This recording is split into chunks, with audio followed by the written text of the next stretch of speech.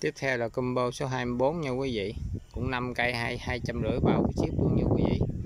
Rồi cái loại mà 5 cây này là hết hàng luôn rồi đó nha quý vị.